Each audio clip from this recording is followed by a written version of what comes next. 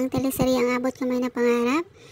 Dahil sa pangyayari, binawian ng buhay itong si Moira dahil nahulog ito sa bangin at kahit tinulungan ito ng mga doktor para i-revive pero hindi pa rin ito nakaligtas at hindi alam nila Annalyn kung paano nila sasabihin kay Zoe pero itong si Doc Locke pumunta doon kay Zoe at sa pag pupumilit ni Zoe na malaman kung kamusta na yung kanyang mami at kung saan ito.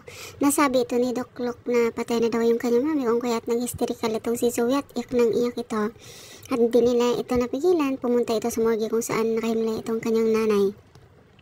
Samantala, bago yon pumunta doon sila Dr. RJ, sina Giselle at Lynette para i-confirm na kung talagang patay si Moira. At ayun na nga, patay na ngayon si Moira. At syempre, nalungkot din si La Annalyn para kay Zoe at pati na din si Lynette dahil syempre nawalan ito ng ina.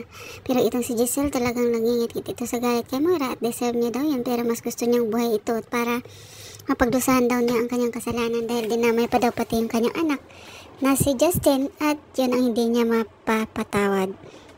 Samantala, ito namang si Aling Susan at sila Jusa, wabalak na pumunta doon sa burol ni Moira.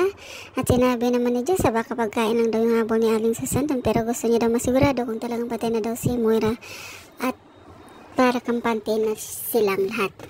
Samantala, ito naman si Dr. Lindo nagpapagaling at syempre tungtuwa ito na nagpapakita ng concern daw si Annalyn sa kanya kung kaya nag, napapangiti ito.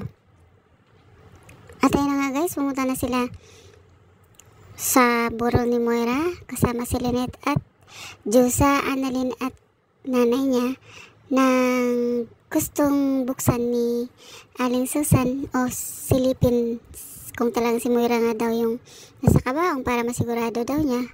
Nang biglang dumating itong si Zoe at tinatanong niya kung bakit nandun ang mga ito doon dahil hindi daw sila kailangan doon kung galit na galit itong si Zoe at ang sisigaw ito at si, Ana, naman ang sinisisi nito kung bakit namatay ang kanyang nanay. Siya daw ang dahilan sa kabila ng lahat ng kasama ng kanyang nanay. Simple natural bilang anak kinakampihan pa rin ni Zoe ang kanyang nanay. At yan na biglang dumating itong si Dr. RJ sinabi nito na talagang gusto lang makiramay ang kapatid nito pero galit na galit ito kay Annalyn. At ayun na nga bumalik na naman ang pagkaprohilda ni Zoe dahil hindi hindi niya matanggap na wala na yung kanyang nanay kasi yun na ang nag-iisang sandalan niya. At ayun na nga guys. Kaya napabalang subaybayan ng mga susunod na kabanata. Wala namang mga bagong ganap.